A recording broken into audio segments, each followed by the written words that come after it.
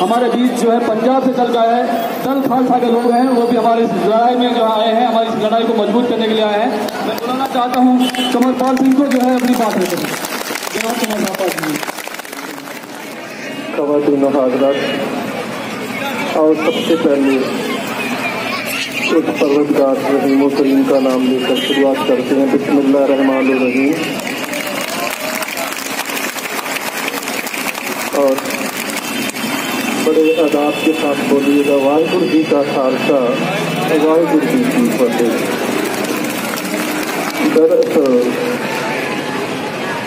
یہ جو پرامن سنگرش ہے، جو اسٹرگل ہے یہ اس بات کا سنکیت دیتا ہے کہ کچھ لوگ دھرم کے نام پر، مذہب کے نام پر اس دیش کو توڑنا چاہتے ہیں اور کچھ لوگ مذہب سے اوپر اٹھ کر اس دیش کو جوڑ کے رکھنا چاہتے ہیں۔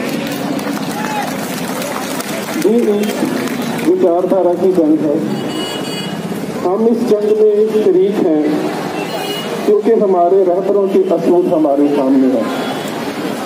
مقدس حدیث میں صلی اللہ علیہ وسلم حضرت محمد صاحب نے ایک جگہ ارشاد کیا، فرمان کیا ہے کہ اپنے گھر میں بھی کوئی ایسا کرم نہ کرو کہ آپ کے پڑوسی کا من دکھے لیکن اس سماج میں یہ کچھ ہو رہا ہے، اس دیش میں یہ کچھ ہو رہا ہے کہ مذہب کے نام پر، مذہب کے نام پر لوگوں کا دل دکھایا جا رہا ہے۔ جو کچھ کیا جا رہا ہے، وہ مذہب میں دنگا فساد ان میں لڑائی جھگڑا پیدا کرنے کے لیے کیا جا رہا ہے۔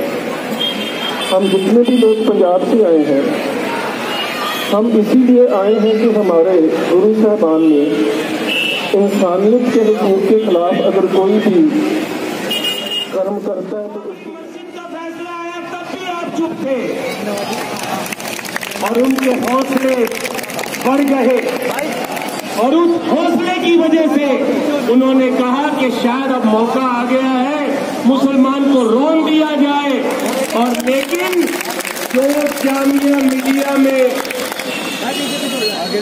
تشدد ہوا طریقے سے پروٹیسٹ شروع کیا ہے یہاں پر شاہین باغ میں اور پورے ہندوستان میں آپ نے ایک سگنل دیا وہ سگنل ہے کہ ہم دو ہزار چوبیس کا بھی انتظار نہیں کریں گے۔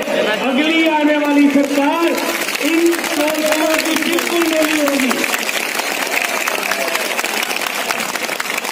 اور آپ کے پاس چار سال ہے ہر مسلمان کے گھر میں، ہر سکھ کے گھر میں، اقلیتوں کے، سبھی لوگوں کے گھر میں، دلتوں کے گھر میں، لتارے ہوئے ہندوؤں کے گھر میں یہ آواز پہنچائے کہ ہم کسی اس پارٹی کے ساتھ بالکل ساتھ نہیں دیں گے جو نفرت کی آندھی یہاں پر لے کے آتی ہے۔